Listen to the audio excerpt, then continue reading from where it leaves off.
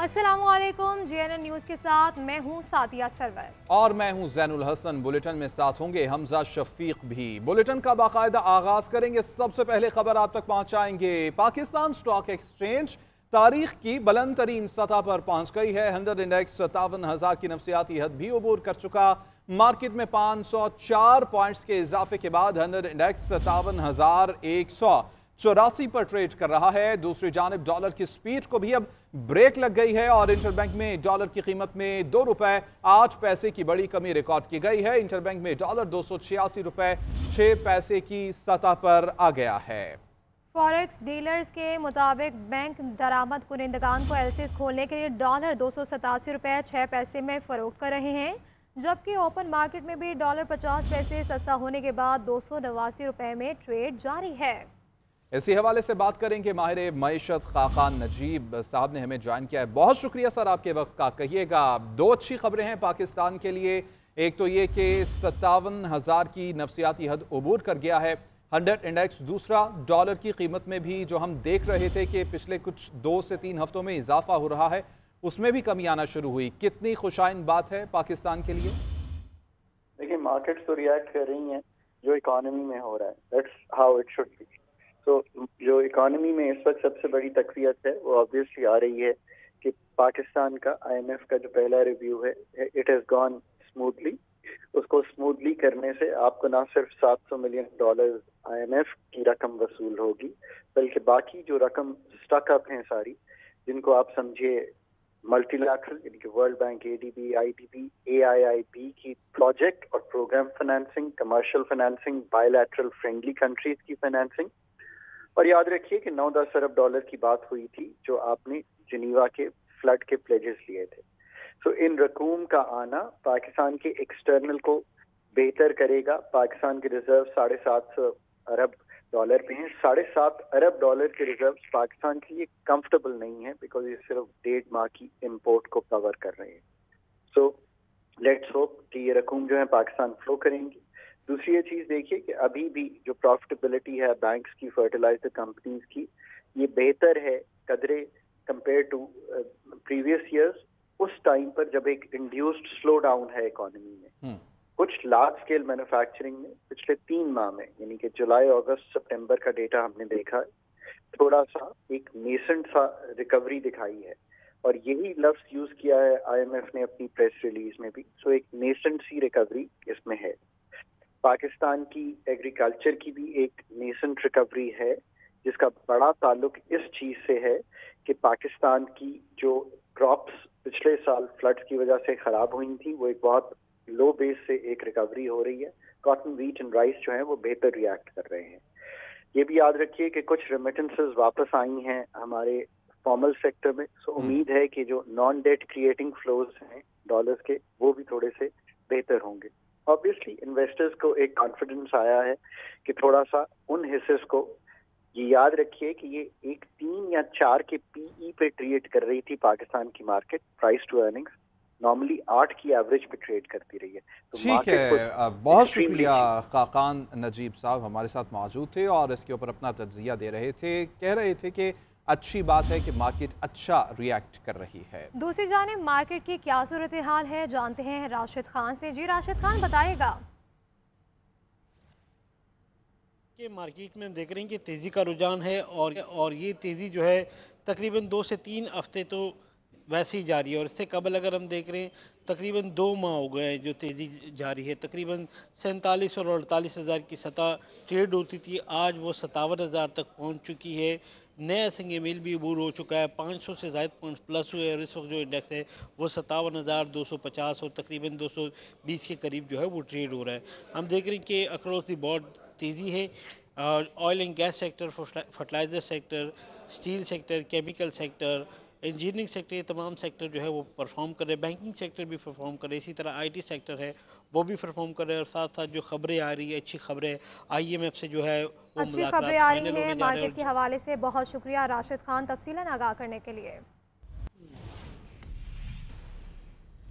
आगे बढ़े। बात करें कायद मुस्लिम नून मियाँ मोहम्मद नवाज़ शरीफ का। लाहौर चैम्बर के अहदेदारान से खिताब में कहना था कि हमने चार साल डॉलर को 104 पर बाँध कर रखा। आज ये हालत हो गई है कि एक एक अरब डॉलर के लिए मोहताज हो गए हैं। ये कुल्हाड़ी हमने खुद अपने पैरों पर मारी है। ये बुरे हालात हमारे अपने फैसलों की वजह से पैदा हुए। हमारे दौर में सवा छह फ़ीसद पॉलिसी रेट था, आज 22 फ़ीसद पर है। इस पॉलिसी रेट से कौन कारोबार कर सकता है? हमने खुद अपनी पार्लियामेंट और वजरा आज़म के साथ ज्यादतियाँ की हैं। हमारे दौर में सवा छह फ़ीसद पॉलिसी रेट था आज 22 फ़ीसद पर है। नवाज़ शरीफ ने मजीद ये भी कहा कि हमने खुद अपनी पार्लियामेंट और वजरा आज़म के साथ ज्यादतियाँ की हैं।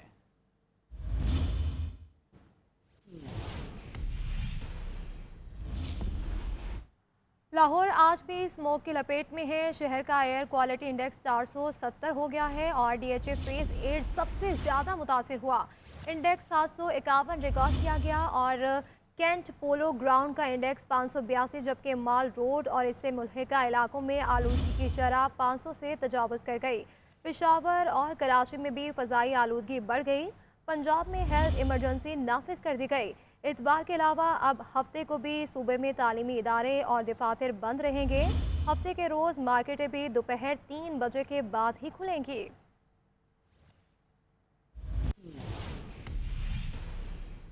नाजरीन, डिफेंस लाहौर में तेज रफ्तार गाड़ी की टक्कर से एक ही खानदान के छह अफराद की मौत की तहकीकत के दौरान होशरुबा के शफात सामने आ रहे हैं। पंजाब हुकूमत जराए कहते हैं कि कम उम्र ड्राइवर अफनान मुतासरा गाड़ी में बैठी खातन को हरासा कर रहा था।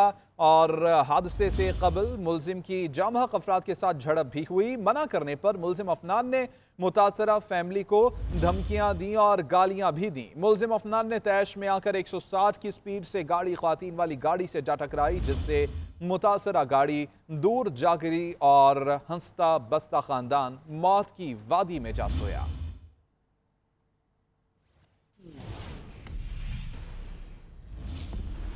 सबक वज़ीर दाखिला शेख रशीद ने कहा है कि मेरे ऊपर 80 से ज़्यादा मुकदमा दर्ज हो चुके हैं। अगर मैंने जेल से इलेक्शन लड़ना है तो मैंने रजाई ले ली है। बलूचिस्तान की 16 सीटें हैं तीन सीटें अनोखा लाडला लेगा। अनोखे लाडले को कहना चाहता हूँ फैसला आसमानों पर होता है। वो इस्लामाबाद हाई कोर्ट में मीडिया से गुफ्तु कर रहे थे। का पंजाब में होना है। जो जो अनोखा लाडला समझ रहा है उसको सिर्फ़ मैं भी उनके साथ रहा हूँ। मैंने भी कुछ वक्त उनके साथ लगाया है। मैं अनोखे लाडले को कहना चाहता हूँ, फैसला आसमानों का है। फैसला आसमानों पे होगा। और अगर मैंने जेल से ही इलेक्शन दो सीटों का लड़ना है तो रज़ाई कल मैंने ले ली है लाल शलील की। तपाई भी लाल ले ली है, तकिए भी ले लिए हैं। और अल्लाह बहुत बड़ा है, मैं हर आदमी को कहता हूँ कि हारता वो है जो हार मानता है।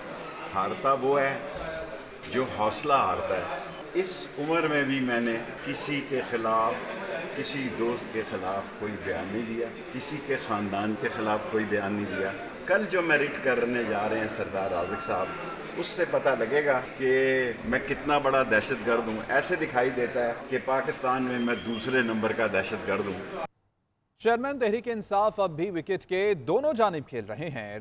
नून लीग जावेद लतीफ़ का शिकवा कहते हैं कि उनका एक वकील कहता है कि इस्टेब्लिशमेंट के साथ चलने को तैयार हैं, दूसरा कहता है कि इलेक्शन में हमारा मुकाबला ही इस्टेब्लिशमेंट से है। लेवल प्लेइंग फ़ील्ड की बात करने वालों को 2018 जैसी लेवल प्लेइंग फ़ील्ड चाहिए।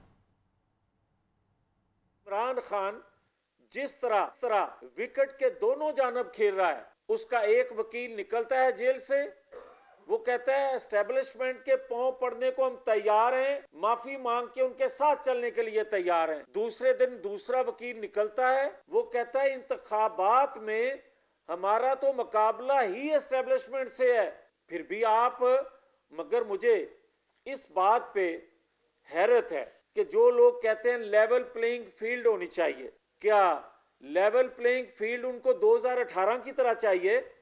एबटाबाद पाकिस्तान पीपल्स पार्टी आज एबटाबाद में सियासी कुत का मुजाहरा करेगी। बिलावल भुट्टो जरदारी कारकुनों से खिताब भी करेंगे। पिंडाल भी सज गया है। इसी पर मजीद बात करेंगे हमदुल्ला खान से। जी हमदुल्ला खान, ये बताएगा कि बिलावल भुट्टो जरदारी कब तक पहुँचेंगे और कब खिताब करेंगे? पाकिस्तान पाकिस्तान पीपल पार्टी के जो चेयरमैन है बिलावल भुट्टो जो है आज एबटाबाद का दौरा करेंगे इस वक्त इस वक्त में मौजूद हूँ पंडाल पर यहाँ पर जो है दस हज़ार से ज़्यादा जो है वो कुर्सियाँ लगाई गई हैं और बैनर जो है वेज़ा कर दिया गया है मुख्तलिफ़ रैलियों की शक्ल में जो है पंडाल के अंदर जो है लोगों का वर्कर का जो है आमद का सिलसिला भी है जो है वो जारी है इसके अलावा अगर यहाँ पर इंतजामिया की बात की सिक्योरिटी के हवाले से बात की जाए सिक्योरिटी के सख्त प्रूफ जो है इंतज़ाम किए गए हैं और बिलावल भुट्टो जो है वो एबटाबाद में पहली दफ़ा जो है वो एबटाबाद का दौरा कर रहे हैं यहाँ पर वर्कर जो है बड़े पुरजोश हमें दिखाई दे रहे हैं और वर्कर बिलावल भुट्टो जो है तो जराए के मुताबिक जो दो बजे तक जो है यहाँ पंडाल पे पहुँचेगा वर्कर कन्वेंशन जो है वो खिताब करेंगे। जी।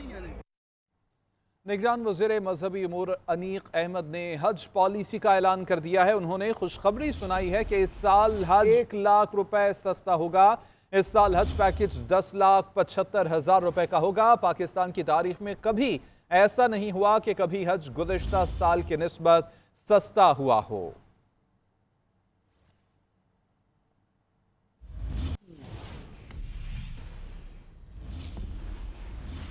आगे बढ़ेंगे, आपको बताएँ कि 190 मिलियन पाउंड केस। नैब की जानब से बुशरा बीबी को आज दोबारा तलब किया गया है। बुशरा बीबी ने नैब पेशी से माजरत कर ली है।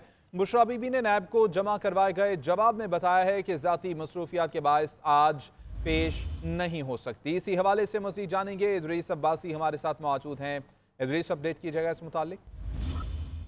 जी देखिए नेशनल क्राइम एजेंसी एक सौ नब्बे मिलियन पाउंड का ये मामला है, जिस पर नैब की जानब से आज बुशा बीबी को दोबारा तलब किया गया था, जिस पर उन्होंने पेशी से माजरत कर ली है और अपने वकील नईम हैदर पंजोसा के तवस्त से उन्होंने नैब में जो है वो तहरीरी जवाब जो है वो जमा करवा दिया है। उन्होंने लिखा है कि जाती मसरूफियात के बाईस में आज पेश नहीं हो सकती। आइंदा हफ़्ते की कोई भी तारीख दी जाए तो उसमें मैं जो है वो पेश होंगी। उन्होंने अपने वकील नईम हैदर पंजोता के तवस्त से जो है वो आज जवाब जमा करवा दिया है। नैब की जानब से उनको साढ़े ग्यारह बजे नैब जो मेलोडी ऑफ़िस है वहाँ पे उनको जाती हैसियत में मुलजिमा तलब किया गया था। ठीक है बहुत शुक्रिया इदरीस अब्बासी। उधर पंजाब असम्बली में गैर कानूनी भर्तियों का मुकदमा सबक वजी अला पंजाब परवेज इलाही को जुडिशल रिमांड खत्म होने पर जुडिशल मजिस्ट्रेट लाहौर की अदालत में पेश कर दिया गया। जुडिशल मजिस्ट्रेट ने परवेज इलाही के जुडिशल रिमांड में 30 नवंबर तक तोसी कर दी। अदालत में परवेज इलाही से फैमिली की और लीगल टीम से मुलाकात की दरख्वास्त मंजूर कर ली गई। तफसीत जान लेते अपने नुमाइंदे इबादुल हक से। जी बात सब बताइएगा इस हवाले से। जी, परवेज इलाई को जो जुडिशल मजिस्ट्रेट के सामने पेश किया गया जुडिशल मजिस्ट्रेट ने उनके चौदह दिन के जिस जुडिशल रिमांड में तोसी कर दी और साथ ही उन्हें उनकी फैमिली और उनके लीगल टीम के साथ मुलाकात की भी इजाज़त दे दी। इसके बाद पुलिस उनको यहाँ से लेकर सेंट्रल कोर्ट पहुँच गई है, जहाँ पर अब उनके खिलाफ मनी लॉन्ड्रिंग केस की समाप्त कुछ देर में होगी। बहुत शुक्रिया, इबादुल हक।